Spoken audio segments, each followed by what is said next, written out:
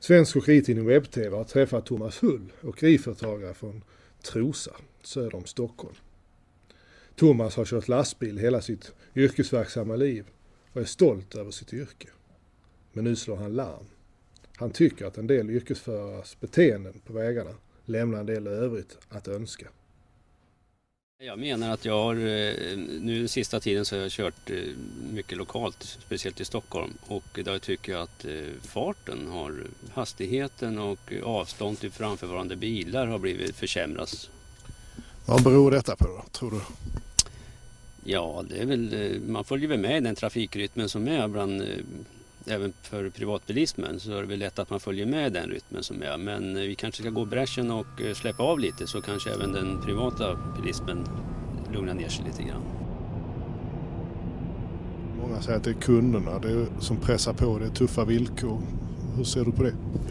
Ja, det är väl, delvis det är det ju det. Speciellt det är många bilar som kör på, som kör på ackord. Grusbilar till exempel, jag förstår, kör ju ofta på, på, på ackord. Och de vill ju hinna för mycket.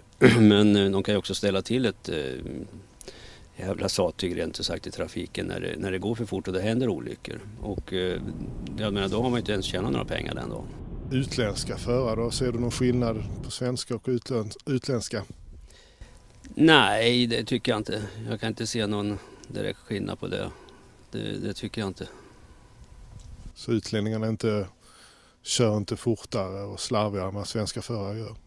Nej, kanske snarare tvärtom. De hittar ju inte så de är väl mest försiktiga som inte ska åka fel.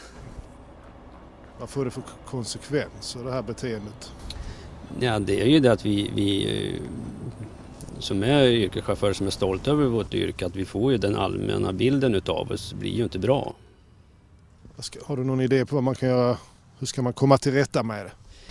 Jag tycker att man ska väl eh, fundera lite själv när man sitter bakom ratten. Vad, vad tjänar man på det här egentligen? Och sen eh, bör man väl kanske prata med sina kollegor. Eh, åkeriägarna kan ju prata med sina chaufförer och man pratar sinsemellan egentligen vad, vad, hur det här kommer sig att man är. Det är ju, jag vill inte påstå att alla sitter och kör på det här viset men det finns, man ser det nästan dagligen.